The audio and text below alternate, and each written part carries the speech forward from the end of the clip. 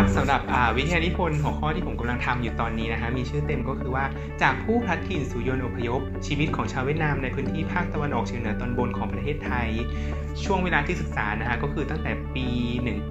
1945 ถึงปี 1976 นั่นเองนะฮะ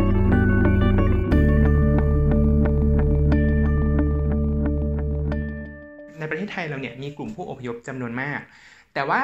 ชาวเวียดนามอพยพเนี่ย ในช่วงทศวรรษ 1940 ถึง 1970 เนี่ย เราทราบกันดีว่าช่วงเวลานั้นเนี่ยประเทศไทยเราอยู่ภายใต้ บรรยากาศของความหวาดกลัวภัยคอมมิวนิสต์ ลักษณะของประเทศไทยในตอนนั้นเองนะฮะ ชาวเวียดนามเนี่ยถูกเอาไปผูกโยงกับภาพลักษณ์ของความเป็นคอมมิวนิสต์ทำให้ เกรงกลัวภัยที่จะเกิดจากคนเวียดนามอพยพที่เข้ามาในประเทศไทยทำให้รัฐบาลเนี่ยต้องเข้าไปควบคุมดูแล แล้วก็ต้องเข้าไปเรียกได้ว่าจับตาดูคนกลุ่มนี้มากเป็นพิเศษ เพราะว่ามองว่าคนกลุ่มนี้เนี่ยเป็นภัยคุกคามที่สำคัญของรัฐบาลในตอนนั้นนั่นเองนะฮะดังนั้นเนี่ยผมจึงคิดว่ากลุ่มชาวเวียดนามอพยพเนี่ยเป็นกลุ่มที่ สร้างความเปลี่ยนแปลงในหลายประการทั้งในแง่ของอนโยบายของภาครัฐที่มีต่อกลุ่มคนเหล่านี้ รวมถึงในบริเวณพื้นที่ที่พวกเขาเข้าไปอยู่คนกลุ่มนี้ก็ได้สร้างความเปลี่ยนแปลงในหลากหลายด้านด้วยกันนั่นเองนะครับ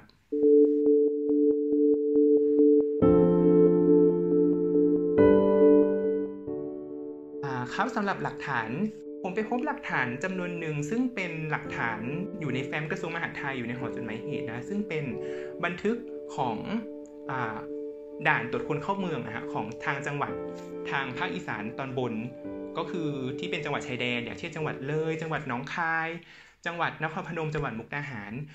ชาวเวียดนามเหล่านี้เดินทางผ่านด่านพรมแดนต่างๆ ซึ่งก็จะมีการบันทึกไว้ค่อนข้างละเอียดมากเลยนะฮะว่าชื่ออะไรเดินทางมาจากที่ไหน เดินทางเข้ามากี่คนมีทรัพย์สินอะไรติดตัวมาบ้าง รวมถึงว่าในถิ่นฐานเดิมเนี่ยมีทรัพย์สินมีเงินทองสะสมไว้มากน้อยเพียงไรเขาก็จะบันทึกเอาไว้ทั้งหมดเลย ซึ่งผมคิดว่าสามารถที่จะนำมาใช้พิจารณาได้ว่าคนเวียดนามเหล่านี้อพยพมาจากพื้นที่ไหนมีปัจจัยใดบ้างที่ทำให้เขาอพยพเข้ามา รวมถึงว่าก่อนที่เขาจะเข้ามาเนี่ยเขามีความเป็นอยู่อย่างไร ก่อนที่จะเข้ามาในประเทศไทยนั่นเองนะ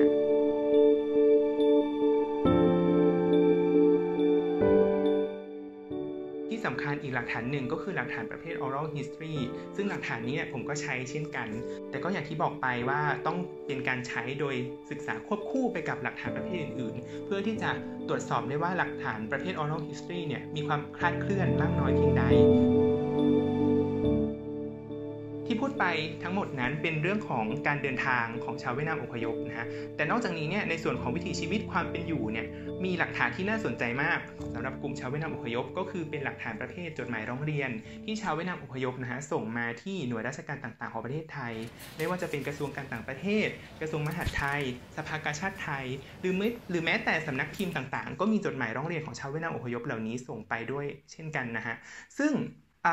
ในส่วนของจดหมายร้องเรียนเหล่านี้เนี่ยมันทำให้เราเห็นว่าชาวเวียดนามอพยพเหล่านี้ ได้รับความเดือดร้อนอย่างไรบ้างนะคะในการในความเป็นอยู่ในประเทศไทย มีความเดือดเนื้อร้อนใจแบบไหนบ้าง มีความร้อนร้อนใจต้องการที่จะได้รับการเยียวยาแก้ไขจากทางภาครัฐ หรือได้รับความช่วยเหลือจากหน่วยงานต่างๆ อย่างไรบ้าง เราก็สามารถดูหลักฐานพวกนี้เพื่อจะดูได้ว่าชาวเวียดนามอพยพเหล่านี้เนี่ยมีวิถีชีวิตอย่างไร นอกจากนี้นะฮะหลักฐานในเรื่องของ จดหมายร้องเรียนนั้นก็ยังสามารถอ่านได้ด้วยว่า คือในในในบางหัวข้อที่ขึ้นต้นของจดหมายนะชาวเวียดนามอพยพเหล่านี้เนี่ยอาจจะพูดถึงว่าเขาเนี่ยเดินทางมาจากไหนเดินทางมายังไง และเดินทางมาอยู่ได้นานแค่ไหน ซึ่งเราสามารถที่จะอ่านได้ว่าจากคำพูดของเขาเนี่ย มันแสดงให้เห็นถึงทัศนคติของเขาที่เขามองเขามีสำนึกว่าตัวเขาเองเนี่ยไม่ใช่ผู้อพยพที่จะเดินทางเข้ามาอยู่อาศัยในประเทศไทยอย่างถาวร แต่ว่าเป็นผู้ที่เข้ามาอยู่อาศัยเพียงชั่วคราวเท่านั้น หรือว่าที่เราเรียกกันว่าเป็นโซจูเนอร์นั่นเองนะครับ นอกจากนี้เนี่ยมีหลักฐานประเภทหนึ่งที่ผมคิดว่ามีความน่าสนใจ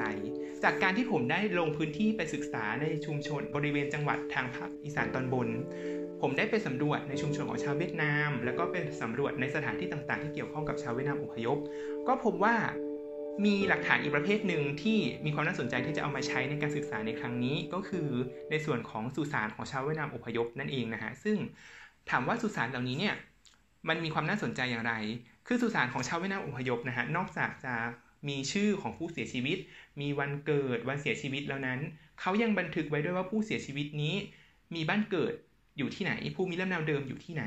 บางหลุมหรือว่าบางป้ายเนี่ยนะฮะมีความละเอียดถึงขนาดที่ว่าผู้เสียชีวิตเนี่ยมาจากหมู่บ้านใดตำบลใดอำเภอใดจังหวัดใดของประเทศเวียดนามเลยนั่นเองนะฮะตรงนี้เนี่ยทำให้ผมได้เห็นมุมมองที่แตกต่างไปจากเดิม เพราะว่าแต่เดิมเนี่ย ผมมองว่าผมคิดว่านะฮะกลุ่มชาวเวียดนามอพยพเนี่ยเป็นกลุ่มที่อพยพมาจากภาคกลางของประเทศเวียดนามเสียส่วนมาก เนื่องจากเราดูจากวัฒนธรรมความเป็นอยู่ของเขา ภาษาที่พูดจะเป็นภาษาที่ปรากฏอยู่ในบริเวณตอนกลางของประเทศเวียดนามนะฮะแต่ว่าเมื่อเราไปดูในส่วนของหลักฐานทั้งประเภทด่านตรวจคนเข้าเมืองประกอบกับหลักฐานประเภทป้ายสุสานแล้วเนี่ยทำให้ผมพบว่าจริงๆ แล้วเนี่ยชาวเวียดนามอพยพเนี่ยจำนวนมากเนี่ยแทบจะเรียกได้ว่าครึ่งต่อครึ่งเลย อพยพมาจากบริเวณทางจังหวัดตอนเหนือของประเทศเวียดนาม เช่นเมืองหลวงฮานอย จังหวัดนิงบิงจังหวัดนานดิงนะฮะหรือว่าจังหวัดเซินติง มีจำนวนมากนะคะที่อพยพมาจากจังหวัดเหล่านี้ไม่ใช่แค่จังหวัดทางภาคกลางที่เรารู้จักกันอย่างเวฮอยอันดานัง หรือว่าเงยอานจังหวัดหรือว่าจังหวัดเงยอานจังหวัดหาติงนั่นเองนะฮะการศึกษาประวัติศาสตร์ หรือประวัติศาสตร์เนี่ยมันเป็นเรื่องของการกระตุ้นทำให้เราได้รู้จักคิด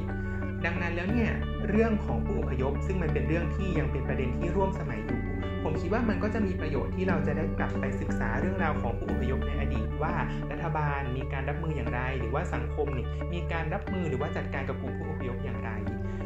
แน่นอนครับมันอาจจะมีความแตกต่างกันทั้งในแง่ของบริบทและเวลา แต่ผมก็คิดว่าเรื่องราวในอดีตต่างๆเนี่ยก็อาจจะมีบางอย่างที่คล้ายกันกับปัจจุบัน หรือว่าเลือกที่จะนำมาปรับใช้ เพื่อที่จะรับมือและแก้ปัญหาที่เกิดขึ้นเกี่ยวกับผู้อพยพในยุคปัจจุบัน